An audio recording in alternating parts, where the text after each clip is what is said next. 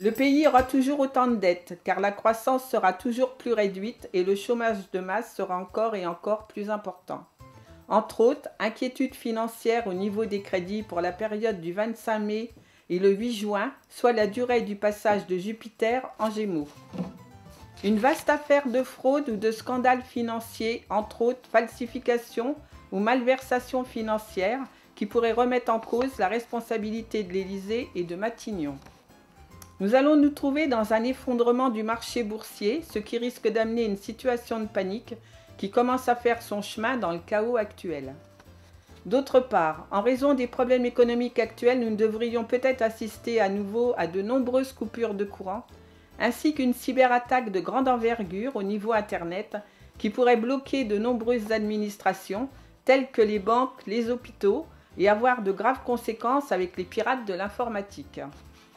L'immobilier et les banques devraient également connaître leur lot de problèmes, surtout les crédits immobiliers à moins d'un gros apport financier.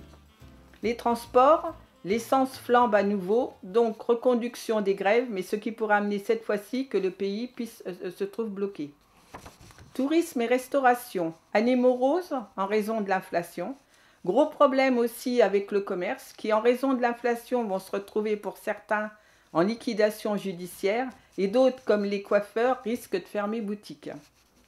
Le secteur automobile. Pendant quelque temps, le boom des voitures électriques a explosé, ce qui avait permis aux concessionnaires d'avoir un bon rendement financier, mais en raison des problèmes des batteries qui prennent feu, il va y avoir un rétropédalage des voitures électriques et certains vont revenir aux vieilles habitudes, c'est-à-dire racheter les voitures à essence, car actuellement il faut réviser sa copie parce que concernant les blocs électriques, ce n'est pas tout à fait au point.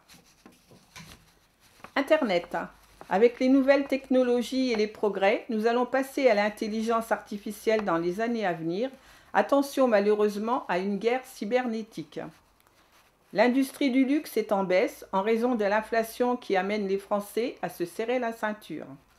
Beaucoup d'enseignes connues vont se retrouver en grande difficulté financière ou tout simplement vont devoir mettre la clé sous la porte. Parlons du travail. Beaucoup de licenciements en raison de l'inflation, la population est de plus en plus pauvre.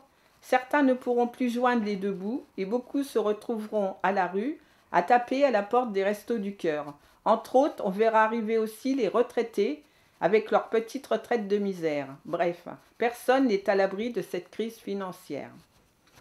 Également, un gros problème aussi est à l'ordre du jour sur les denrées alimentaires qui sont contaminées et qui font un rappel au niveau sanitaire. Cela commence à devenir problématique car si l'on ne trouve pas de solution, les grandes enseignes vont se trouver impactées et les Français pourraient revenir aux vieilles habitudes, c'est-à-dire acheter directement chez les producteurs pour être certain de ne pas être empoisonnés au détriment des grandes surfaces. Le monde de l'édition commence à baisser également en raison de l'inflation, donc restriction. Ceci vaut également pour l'industrie des CD qui ne font plus recette. L'intérim ne sera pas au beau fixe, le BTP est en perte de vitesse, donc le chômage va remonter à la hausse. Agriculture, appauvrissement des sols en raison des problèmes climatiques. Les phases favorables au commerce, au budget et aux finances seront concentrées sur les trois premiers mois de 2024.